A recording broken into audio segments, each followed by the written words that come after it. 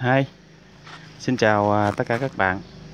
Thì à, hôm nay mình à, xin chia sẻ với các bạn cách sửa một cái tivi Panasonic nha. Đây, đây là model. Đó. Đó là cái model của cái tivi đó. Rồi thì hiện tượng của nó là cắm nguồn vô là nó không có báo gì hết nha các bạn. Rồi. Rồi trong khi đó là cầu chì à, không bị đứt ha. Rồi bây giờ mình à, tiến hành kiểm tra rồi mình sửa ha. Thì à, đầu tiên thì à, chúng ta tiến hành à, đo cầu chì. Đo cầu chì xem coi cầu chì nó có à, bị đứt không ha. Đó. Thì à, đầu tiên thì mình đo cái cầu chì của nó nè.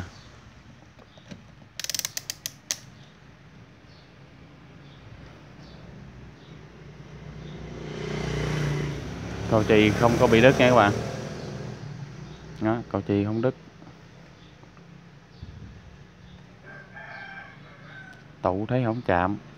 Có nghĩa là cầu diode này nó không có nó không có hư. Đó đây tụ nè một lần lên nè. Nghĩa là nó không có cái hiện tượng bị chạm là cầu diode này ok. Rồi tiếp theo á, mình à, thì nghe à, nghe khách người ta nói là nó bị à, mở nguồn nó không có lên. Bây giờ mình cắm nguồn vô mình kiểm tra thử ha. Dặn thang đo 1000 DC nha các bạn. Đây mình đo hai động tụ nè. Nè. Đó. Đo hai động tụ đó. Nó lên đúng 300 rồi bây giờ mình kiểm tra tiếp cái phần à, B cộng ra thì à, nó à, nó không có nguồn ra thì mình kiểm tra từ từ lần lần ha. Rồi, tiếp theo ghim B cộng vô nè. B cộng đo cũng không có điện luôn. Rồi, bây giờ mình dùng cái bóng đèn để mình xả à, xả điện cho cái con con tụ nha các bạn.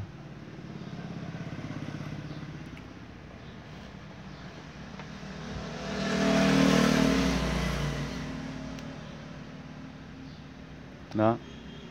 Các bạn không xả là ví dụ các bạn mà không xả thì mình bóc cho nó giật chơi thôi. Còn à, không thì mình lúc mà mình à, hàng hút linh kiện á nó chập nó chập nó sinh ra bệnh. Rồi bây giờ à, tiếp theo là mình à, hút à, xê sò ra trước đi.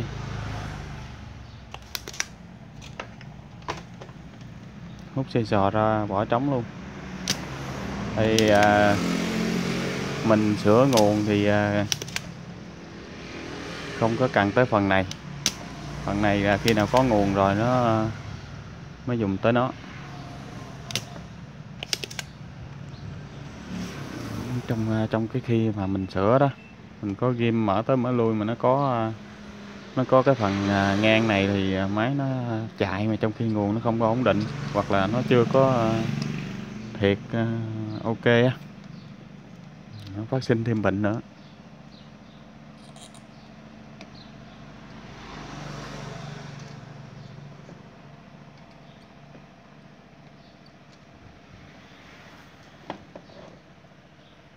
Rồi, đây.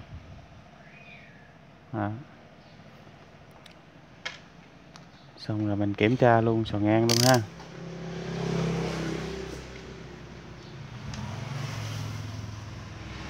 Kiểm tra luôn sò ngang luôn.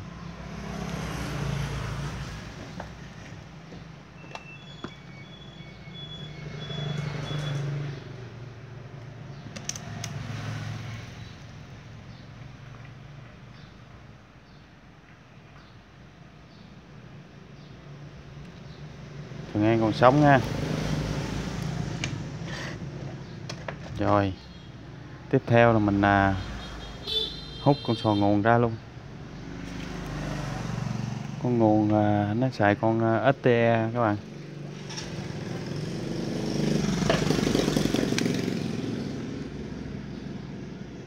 À, mình hút nó à, trống ra luôn rồi mình kiểm tra đo linh kiện vậy thôi. Thì à, với những phần máy mà nó không có bị đứt cầu chì này thường là nó hư rất là nhẹ các bạn.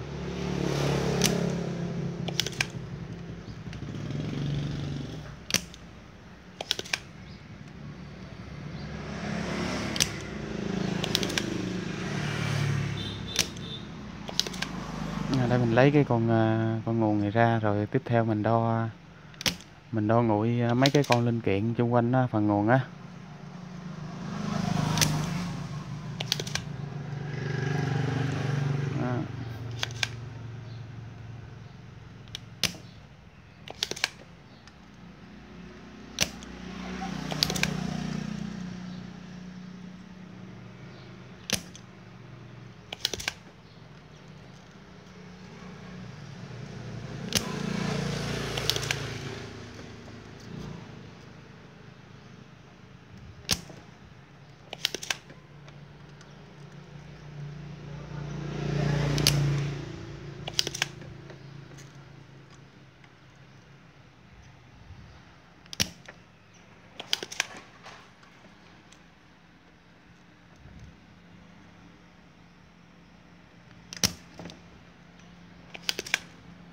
Con này khó hút quá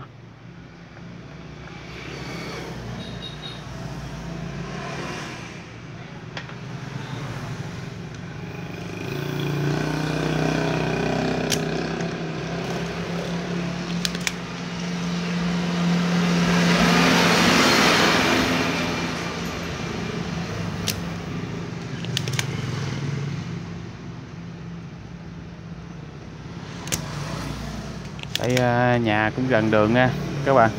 Thì à, có nhiều xe cộ thì hơi bị ồn chút xíu ha.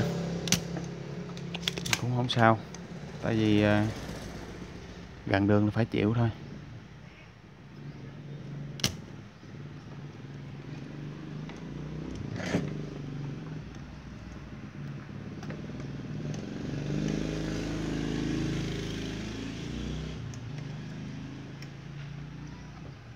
Đó.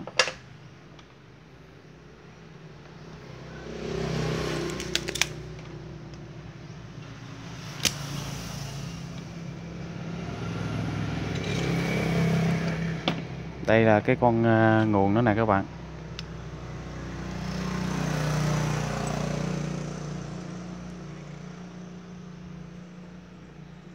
Đây là con uh, ST 6754 ha. Rồi, bây giờ mình bỏ nó ra. Mình tiến hành mình đo nguội à, cái phần à, linh kiện. Thì ở trên đây nó cũng có à, mấy con linh kiện quan trọng. Thường hay bị chết nhất trong cái trường hợp mà bị mất nguồn. Thì đầu tiên là có cái con giót nè. Giót này nè các bạn. Đó, đây là cái con con dinner á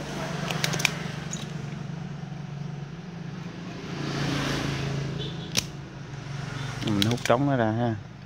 Thường thì các bạn cứ ờ, hút trống nó ra, rồi đo mới biết chính xác là nó ờ, có chết hay không thôi.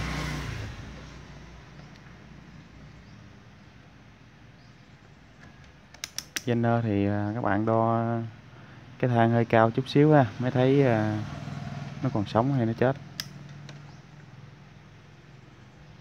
Này. Đó.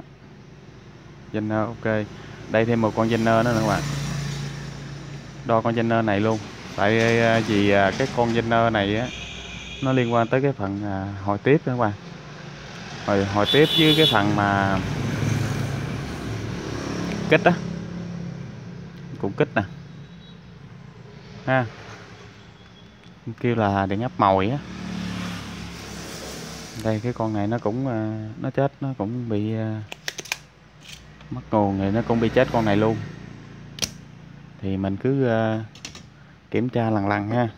Thì ờ, thì uh, nếu như mà đầu tiên á đầu tiên nó chết nguồn mà đứt cầu chì luôn á thì các bạn đo từ cái chân uh, ngay cầu chì đưa vô nè ngay công tắc nè. Tới uh, đầu của uh, cái bộ vót cầu nè ha. Rồi xong rồi các bạn mới đo kiểm tra tiếp mấy con điện trở nè. Đó ha đo tiếp mấy điện trở rồi tiếp theo là dò theo cái đường à, vi cộng của à, đường 300 nè. Mình dò dò cho tới đây ha. Đo hết mấy linh kiện đó. Có con nào bị chạm, chập gì không?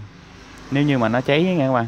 Còn cái này, cái hiện tượng này bình thường thì à, mình chỉ đo cái mấy phần chính thôi. Còn cái phần này là nó bình thường rồi. Ok, không có cháy nổ. Rồi thì tiếp theo là cái phần cái phần gì, dò sai dò sai lấy điện áp hồi tiếp á thì mình đo từ bên đây đo qua trước đi. Tại vì nó hư phần này mà. Đó bây giờ mình đo cái con dốt này luôn nè. Đó. Hai con con này nè với con này nè là nó giống nhau nha các bạn. Hai con Jenner hết. Để mình à, lật cái mặt kia ha.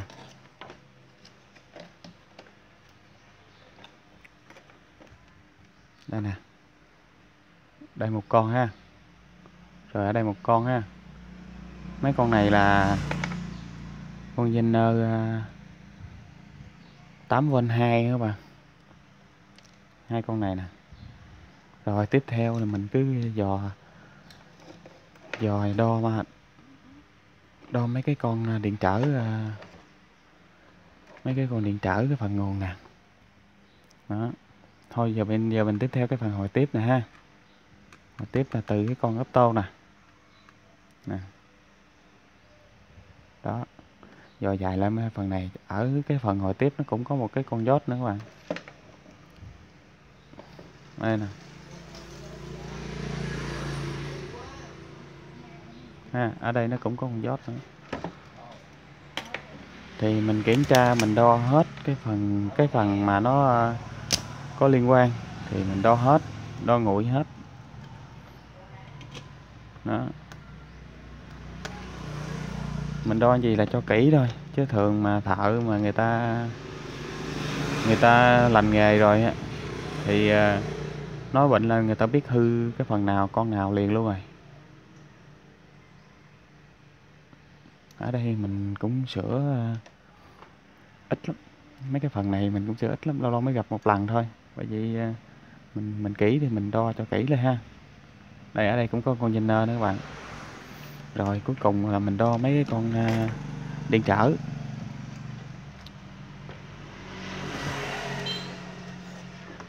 Đo điện trở với à, gió thường. Thì à, gió thường thì mình đo bình thường thôi, đo cái thang nhỏ thôi, cũng thấy nữa.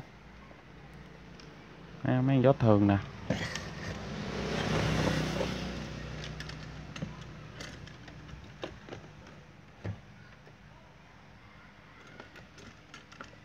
đó gió thường đo nghịch nè không lên nè. Đo thận nè. Cái này là mình à, chỉ à, cho các bạn cái phần để mà mình đo nguội biết sống chết đi thôi. Đây. Đó. Rồi. Tiếp theo là mình đo cái à, mấy con điện trở á. Coi nó có bị tăng chỉ số không? Ha. Cũng như con này.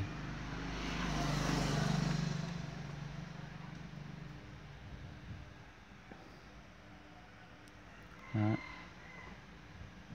021 đúng rồi.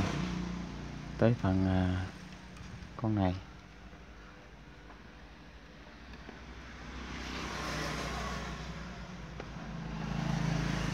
Hai ký à, bảy hai ký tám gì đó.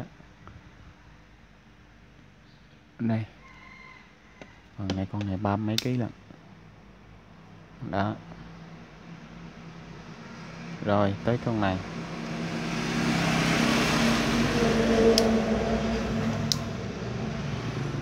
Này khoảng một ký.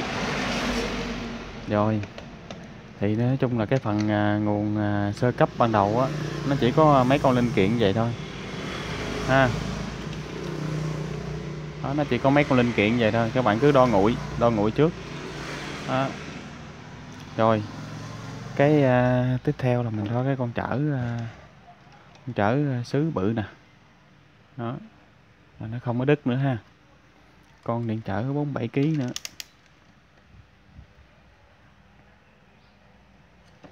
Để mình đo một hộp số đi. Này. Đó. Con điện chảo 7 kg rồi ok.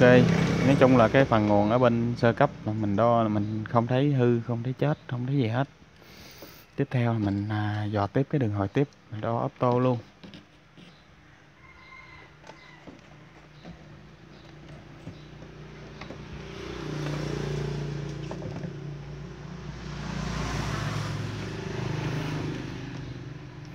Auto thì à, các bạn kỹ thì à, lấy ra ngoài luôn. Còn à, còn nếu như mà mình quen rồi thì khỏi. Mình à, chỉ cần đo trên mạch là mình biết là nó có chạm hay chập hay không thôi. Thì thường á, là cái um, tô nó hư nguồn á, thì nó hư cái phần hồi tiếp đem về thôi. Hồi tiếp đem về là nó hư bên đây này vô nguồn bên đây nó hư nó có nguồn mà nó không đủ này kia nữa là nó hư phần bên đây. Nghe các bạn nguồn ra không đủ hay là chập chờn hay gì đó, là nó hư từ bên đây. Còn nguồn của mình hiện giờ đang hư ở bên đây, bên phần sơ cấp. Sơ cấp thì mình đo đo phần bên đây nè.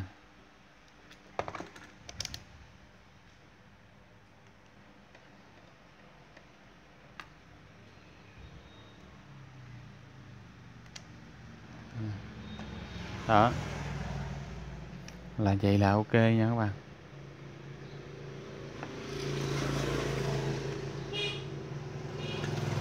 Rồi cuối cùng nữa mình đo mấy cái phần này à, xong rồi thì theo qua mình thứ cấp mình đo sơ một cái luôn. Ví dụ như thứ cấp mà nó chạm à, à nó chạm mấy con dốt à, bị cộng hoặc con dốt gì không biết nó chạm một con thôi là nguồn nó cũng thể nó chết luôn đó mà nín luôn mà nó không có đứt cầu chì nha. Nín luôn vậy đó. Con tụ con tụ à, kẹo nó chạm nó cũng nín nguồn luôn và tùy theo máy có máy mà nó chạm vậy mà là nó nổ luôn cái nguồn à, sơ cấp đằng trước á. Có máy thì nó nín luôn. Đó.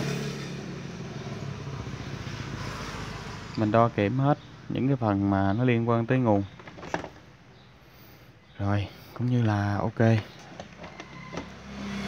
Nguồn là bên cái phần đo nguội à, linh kiện thì à, xong rồi coi như là không không có cái gì hết tiếp theo là cái phần con à, con nguồn nè OTE nè. OTE này thì à, mình đo à, các bạn lấy cái chân cái chân số 2 nè. Ồ, bên đây điểm qua là chân số 2 nè. Một nè ha.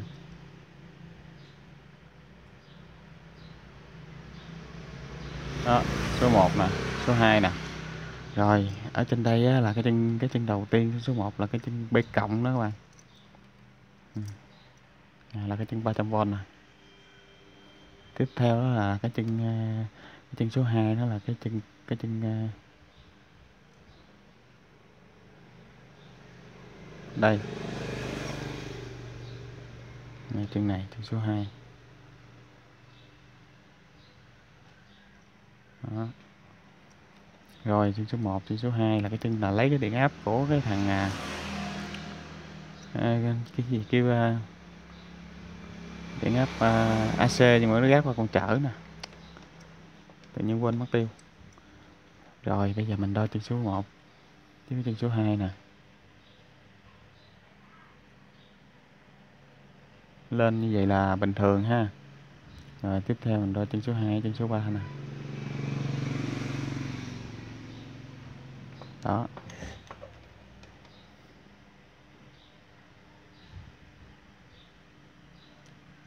Tiếng số 2 tiếng số 3 hai lần lên lên vậy là con này nó chạm rồi đó các bạn. Để mình lấy cái con mới mình đo, đối xứng nha.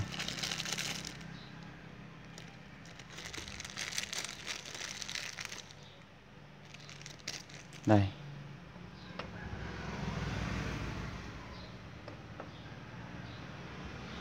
không thấy luôn.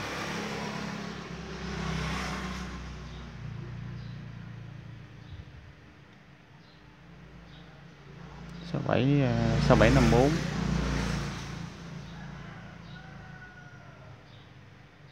À.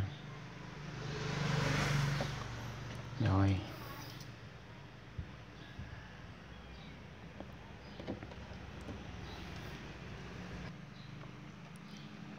Rồi, bây giờ mình đo cái chân ờ, số 2 hồi nãy nè. Lên ha. Đây, lên lúc luôn nè.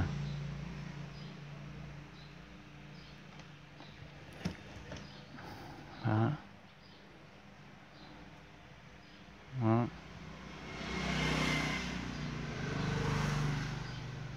Đó đảo que lên nè. Cũng lên hết luôn. Còn này không lên nè. Thấy không bạn có nghĩa là cái con à, con này nó bị chạm rồi. Rồi bây giờ mình à, bắt đầu mình thay cái con à, này vô thử ha. Gỡ nó ra đi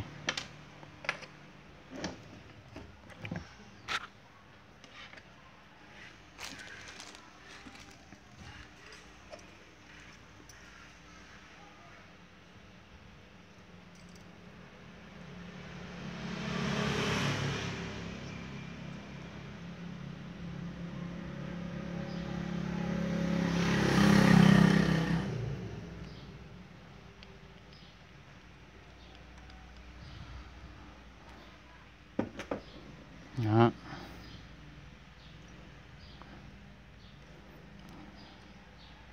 rồi bây giờ mình gắn vô.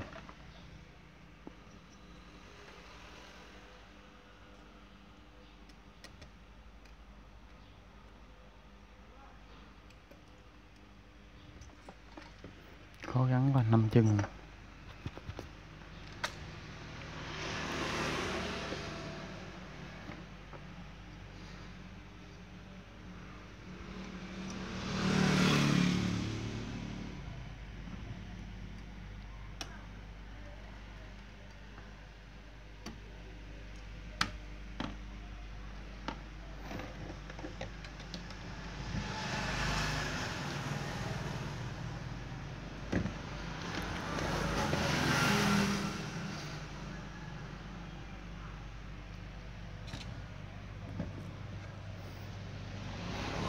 Rồi thì à, à, mình hàng lại mấy cái chân hồi nãy là mình hút trống ra đang mình à, mình đo á. Hàng lại ha. Xong hàng luôn cái à, coi xe lại luôn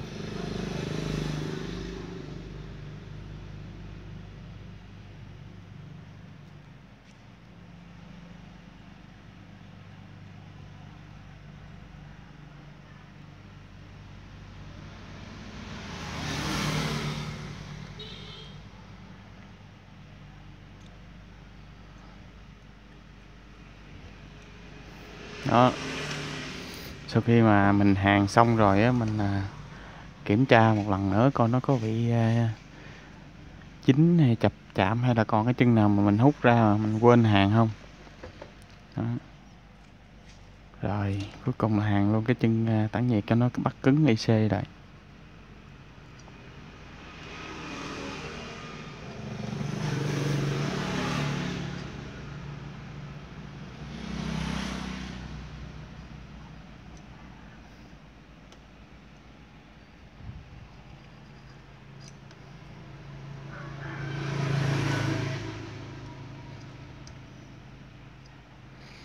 đó rồi bây giờ muốn à, mở lên để mà test thử á. Thì à, ở đây mình à, mình gỡ một chân của cái à, cầu chì ra ha.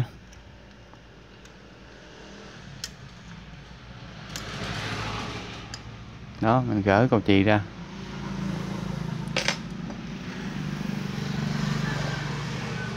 Cầu chì là còn đó các bạn. Cái banh này nó bị chết nguồn nhưng mà nó không có đứt cái cầu chì rồi thì à, tiếp theo các bạn dùng một cái bóng đèn 75W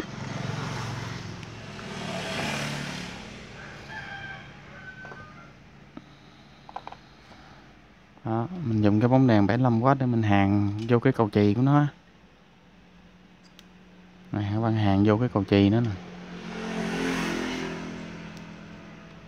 Đặng mình mình mở lên nó có à, chạm chập gì nó cũng à, không có hư hại gì nhiều. Rồi. Tiếp theo là mình à, cắm nguồn vô cho nó ha. Rồi bây giờ mình đo bay cộng cho của tụ đi.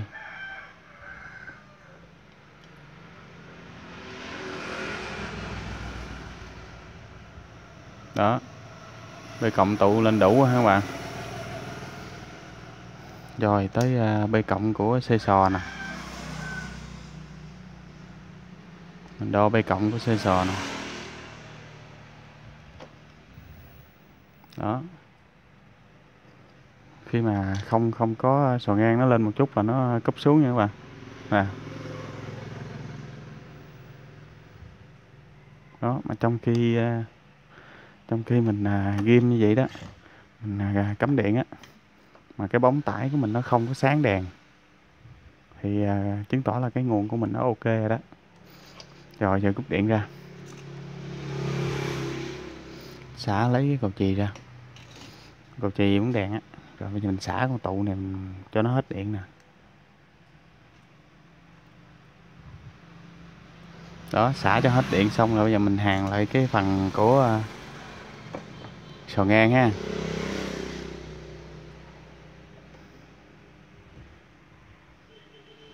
Hàng cái phần của sò ngang lại nè. Hàng cái bóng đèn vô đặng, mình thử cái tải của nó lúc mình mở lên á. Nó có à, bị sụp tải không? Rồi, bây giờ mình gắn cái cầu chì lại.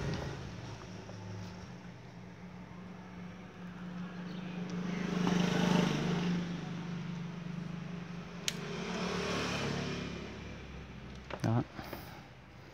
Khi nguồn ok rồi thì mình có thể để cầu chì vô rồi mở ha. Rồi bây giờ à, tiến hành là cắm điện nè.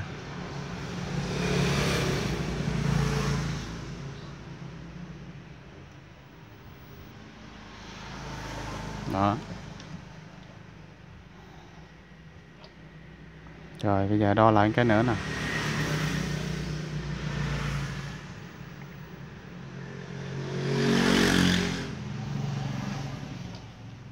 Đó đo lại cái nữa nó không có sò ngang là nó lên một chút, nó cúp vậy đó các bạn. Đó, rồi. Giờ tới mình đo dao động. Dao động mở nguồn ra coi có chưa. Thì à, bậc thang AC này 10V đó UBE ha. Đó. Rồi. Như vậy chứng tỏ là ok. Nguồn ra đủ dao động có. Thì chúng ta tiến hành là gắn sò ngang vào.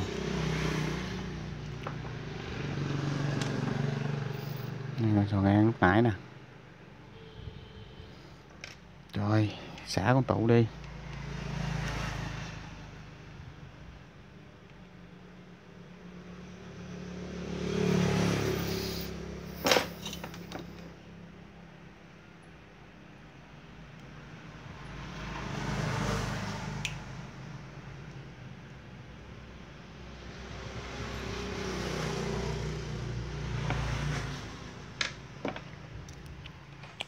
Hút cho trống cái chân sò ngang dễ gắn.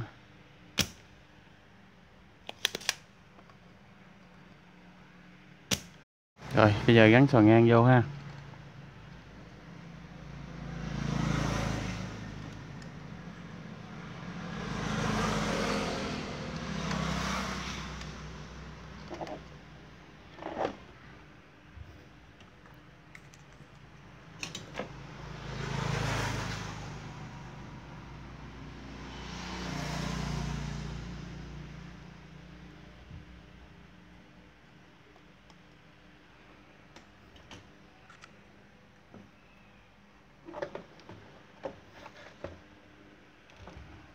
Sau khi mình gắn sò ngang rồi thì à, cắm điện vô để à, mở lên thử ha.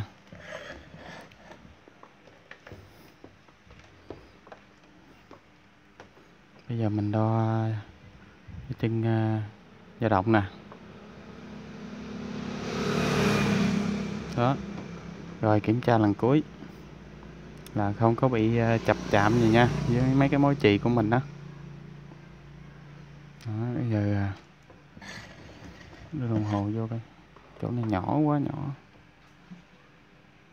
Đó, bây giờ mình đưa dao động vô, mình mở nè. Đó, có dao động nữa các bạn.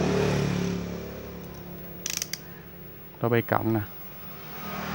Bê cộng cấp cho đai bách nè. Có luôn nè. Thấy không? Rồi như là máy chạy đó giờ mình lên mình xem máy nha. Đây các bạn. Rồi. Mình đưa tín hiệu vào thử rồi cho nó à, coi ok chưa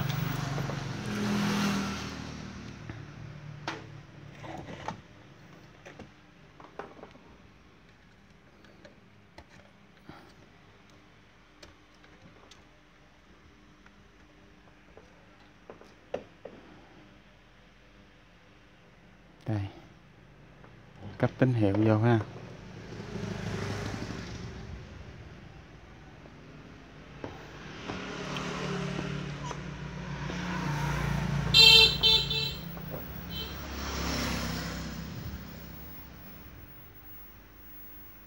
đó rồi bấm chuyển à,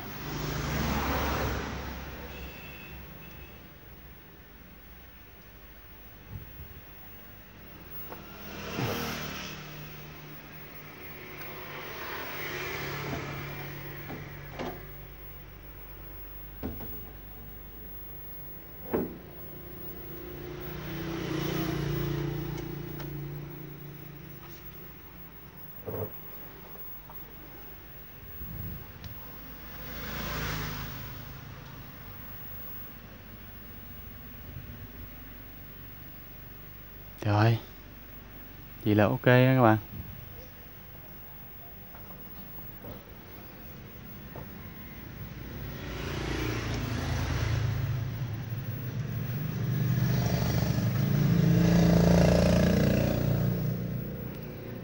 Rồi máy chạy ngon lành.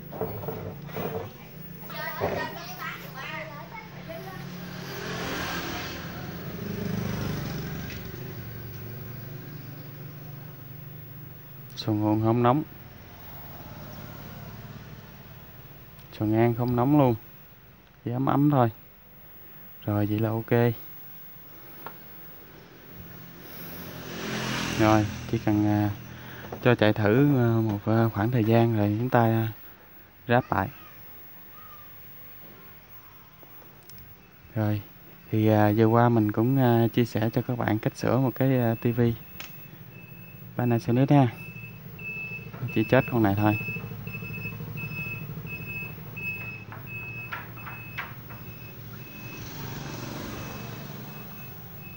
Đó. Là cái hiện tượng của nó là mất nguồn nhưng mà không có đứt cầu chì nha các bạn. Thì à, mà các bạn chỉ thay cái con à, STE thôi. Rồi. Nếu mà thấy hay thì các bạn à, bấm like, share và đăng ký kênh giùm mình ha để nhận được nhiều video mới hơn nữa nha. Xin chào và hẹn gặp lại các bạn ở ờ, video lần sau nha.